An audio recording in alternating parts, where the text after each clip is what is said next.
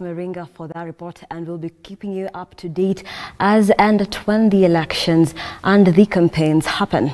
On to the next story, the Kenya Medical Supplies Authority KEMSA in partnership with the Ministry of Health and Development partners have formed a task force to address the challenges currently facing KEMSA by reviewing its procurement process and suppliers performance.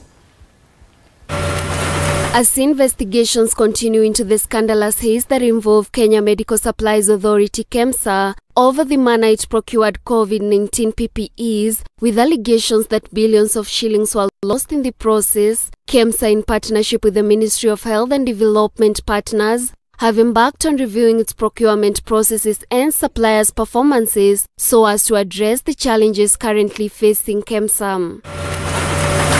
A move that will see traders involved in the procurement of the medical supplies investigated as senior managers were sent home in a highly charged sitting. We did have from the National uh, Emergency Who Response cabinet Which secretary? CS? It's good you give us names for the record. CS? We've seen the Honorable Mutahi Kagwe, Yes. and we also got the emergency response team that was handling COVID. Who specifically? There was an engineer, uh, there was a, a brigadier, somebody, I can't remember his name, Uh-huh. uh, who was heading that uh, section. okay. I remember at one stage they came direct to, to KEMSA yes. and uh, they wanted specific items which we didn't have. Mhm. and we were told they, you know we need to respond to that uh, aspect and if we are not able to you know to respond in that warehouse they'll come and take it over of the board for this company while Kenya is losing money and building billionaires. Chair. you guys are, do, do not live on mass.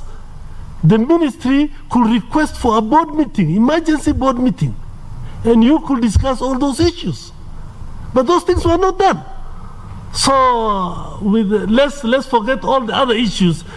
Things were not done proper, According to the acting CEO Edward Njoroge, a reforms implementation committee had been instituted to provide guidance and oversight in the implementation of proposed reforms.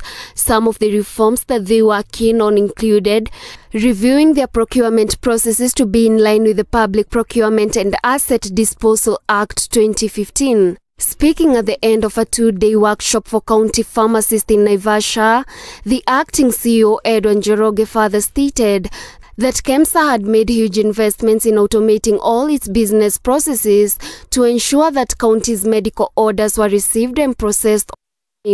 Carol Wangari Wanjiru, Look Up TV, Nairobi. Thank you